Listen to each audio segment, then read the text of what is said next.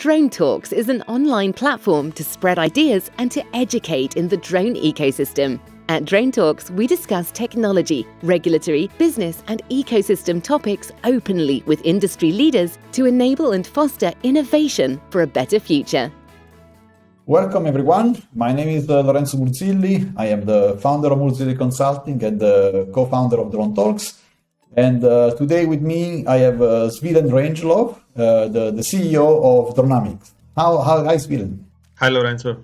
Great to be here. And uh, I said in the past, and I keep saying it, uh, having you know guests such as yourself, it's always very difficult to introduce you know uh, people with your background and your you know wealth of experience. So can you please introduce yourself and you know tell us your story and what brought you here? My name is Svilen. I'm the co-founder and CEO of uh, Dronamics, a company that uh, started with my brother, who's an aerospace engineer, uh, back in 2014. Um, and my background is as an uh, I studied economics in the U.S. Uh, then uh, worked on a variety of fields like marketing and finance. And essentially, when we saw the Amazon drones uh, with my brother, who's an aerospace engineer, decided to that we will be essentially, you know, he, he, can bring in the technical talent and I can bring in uh, the rest. Um, we are now a team of more than 100 people, uh, and we're really excited to be part of uh, the drone ecosystem.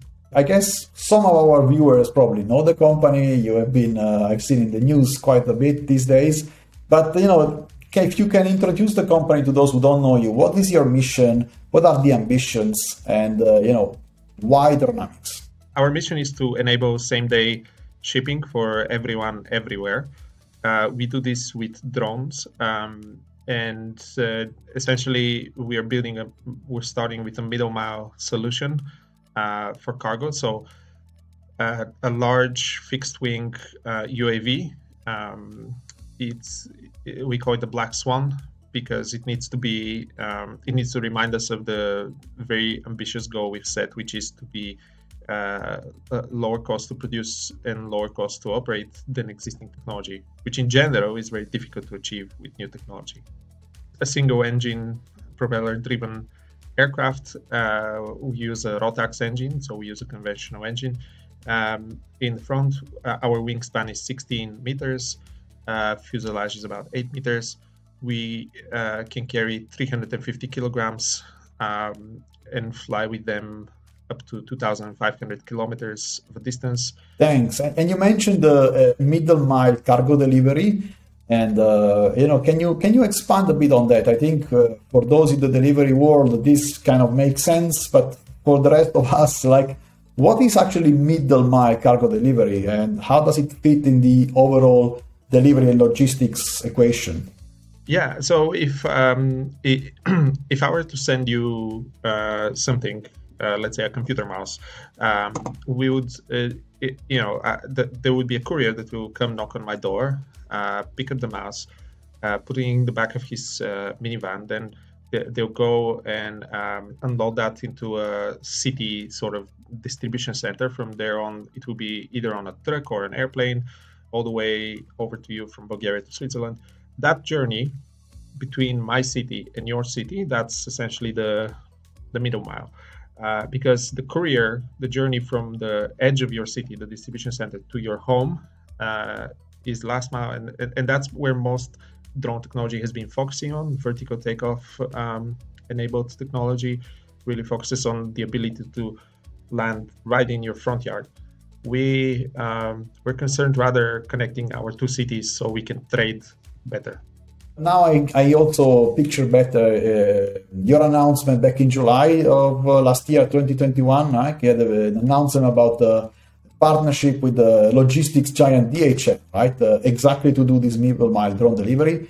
And uh, I, I read, if I'm not wrong, that you had an agreement for over connecting over 40 airports in uh, 13 countries around Europe, right?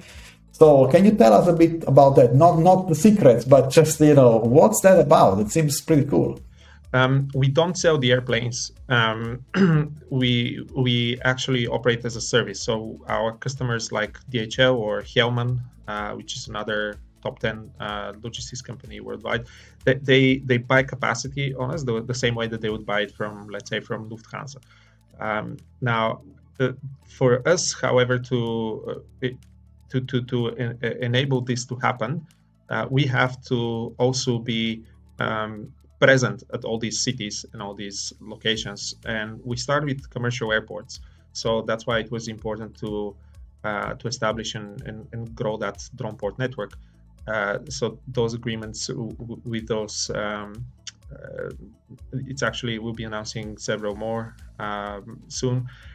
Were very critical to just establishing the customers' minds where we could operate um, for them, and on the back end, essentially, the customer pays for a piece of cargo to be transported uh, from a, a, certain route. Um, on the back end, we we do not just the airplanes uh, development, but also uh, the operation and the operation on the ground. So we deploy uh, standardized ground control stations. You know, all the cameras, antennas um, you need to to be able to pilot these uh, from the ground. So, so in essence, if if you want to uh, link your city, you need to have such an entry point in your city um, to our network. The good thing is um, because the crew doesn't fly with the airplane itself, uh, this gateway is truly a gateway to all the other gateways because um, then we can just uh, move the assets where the demand is. Fantastic, thanks. And just a curiosity, you mentioned the you know you have started with the somehow conventional airports, like I guess, and uh, you mentioned some deploying assets, and I'm just trying to figure out how do you integrate uh, with uh, what's already there, right? Are you planning on later on develop your own, let's say, drone ports or things like that, or you're literally wanting to operate from the existing airports more in an integrated fashion, let's say with, with manned aviation, for example? If you, if you look at the the capacity constraints at airports, let's say in Europe. Um, but it's kind of like that everywhere. They, they follow a power law curve. So uh, there's one uh, big airport that typically consumes, you know, a huge percent of the, the, the, the, movements from that city. And then everyone who's on the second tier or, or third tier, they, they barely get any activity. So what it means is you have these runways, which are out there. You have um, the staff which is out there but they're barely getting any use utilization we this we are not signing up heathrow we're we're going to uh, this cargo specific and uh, and actually the cargo industry um, itself has as a has figured that out and is already you know um, for example liège airport like brussels is a big hub but um, but liège grew to be uh, a cargo hub uh, precisely because there were there wasn't that much passenger traffic or uh, at all. Uh, and now they're the, the, the main hub for Alibaba in Europe. So that, those are the kind of airports um, uh, that we, we, target. And Europe alone has more than 3,000 uh, airports or airfields. Um, so so that even if we stuck only with existing airports, there's uh, there's still a lot of growth remaining. But um, ultimately, it's all about where the end customers are. So typically, uh, most of these airports, I mean, the, most of these airfields are very, very long because they're built for big passenger airplanes. Um, so they tend to be uh, a little too far out. We're starting uh, with them, but ultimately, at some point, um, we can land only on 400 meters runway. So we can um, we can land from a seaport. Uh, at the seaport, we can land at the fulfillment center, uh, parking lot, and, and, and, so on. So, airports phase one, other locations phase two. That's how we think about it. Tell me more about the, the Black Swan, the aircraft itself. I mean, I've seen the, the unveiling. It was like, what, a month ago now, back in December. Cold day I've seen in the in, uh, in Bulgaria. It was a proper test, I guess, for, for the unveiling. But um, uh, what's special about this aircraft? Like, what do you think is going to be the one that's going to allow you to fulfill this uh, this dream? Well, it, it looks very conventionally, but it, we put a lot of uh, work into it actually to be um, very, very optimized for that one particular job. So most airplanes in history, almost all airplanes in history was always designed for humans first. Um, we designed only for packages. Uh, not only that, but a lot of drones and um, other um, new vehicles, they're always designed with, well, yeah, we can do passengers, but we can do cargo, we can do surveillance, we can do all these other things. We from the day from day one we said, you know what? No, we're not gonna do surveillance, we're not gonna do agriculture spraying, we're not gonna do any of these things because you cannot like it's so difficult to fly. You have to uh, comply with such a strict set of constraints that the moment we start optimizing for more than one job, you kind of run away from that optimum. And um, and cargo is very merciless. Uh, it's cargo. The, the cargo customer doesn't care if you fly with a drone or a donkey, or you know, uh, uh, they, they, they, all they care about is the price, um, and are you going to be there on time. So that's. Uh, but but even if you're there on time, if the price is too high, they're not going to want it. So uh, and, and you see that because aviation is still less than one percent of global trade, which means that um, 99 times out of 100, people just say, you know what, I know airplanes are great, super safe, super reliable, so on, but they're so expensive. Please don't put my package there. So that's why we needed to to make sure that every every every thought we put in came from that cargo first mentality. Now, as a result, um, the airplane became a very uh, optimized machine. So our fuel consumption is um, is you could say negligible. Uh, we, if you see, we look a lot like a glider with an engine. Um, we leveraged a lot of uh, innovations on the materials and structure side. Uh, we're made out of carbon fiber. Um, we have some great people on our team who are, you know, world leaders in in, in that uh, field. And yeah, it's. I think we did a great job. So even though it looks fairly conventional, it's actually multiple times better than anything that already exists. And uh, you mentioned before you're uh, you're more of an economist of, of, of education. So let's talk economy of Dronamics. I mean, I've seen the the IPO, the initial public offering, as well uh, in the news also a couple of uh, weeks ago. And uh, I read it was over, oversubscribed, I think almost by four and a half, five times. So it seems like you know people kind of trust and believe in your dream as well. And uh, so tell me a little bit about that. What's the structure behind that IPO? What's the thinking process and, and how do you see it moving forward? We started, my brother and I, in 2014. Uh, our first, the, the first investment we received was from a local accelerator called Eleven. Um, uh, they've been a big supporter of us ever since. What we were essentially pitching is is kind of a moonshot, kind of an outlier. So in the process, uh, and, especially on the European uh, venture scene, um, I'm sorry I have to say that, but uh, and I mean no offense, but people here, people in Europe historically, they're afraid not to lose money, whereas people in the US are afraid not to lose the next big opportunity. So as a result, we um, we are being out of Europe, we hit it off a lot better with angel investors, people who've been through the entrepreneur journey. You know, not not people who just uh, chase the next uh, software thing. Um, yeah, and because we saw such a such a great fit, we we then realized. Um, you, you, know what? Uh, the, there's new EU regulations, just like for drones, also for public offerings. And what we did was we didn't uh, we didn't make our company public we realized we can uh, we can create a new special purpose vehicle, um, and we can list it on this uh, let's call it junior market. Uh, created by the EU regulations. Every country can have one, and any any company on that junior market, it's specifically for SMEs, uh, can can raise up to eight million euros. In Bulgaria, it was three million. First, what was important actually was the realization that as we make progress, um, you know we also become out of reach for the retail let's say angels or investors because uh, as you know companies remain private for a much longer time. And then all these um, uh, all these value keeps accumulating in the same kind of uh, pockets.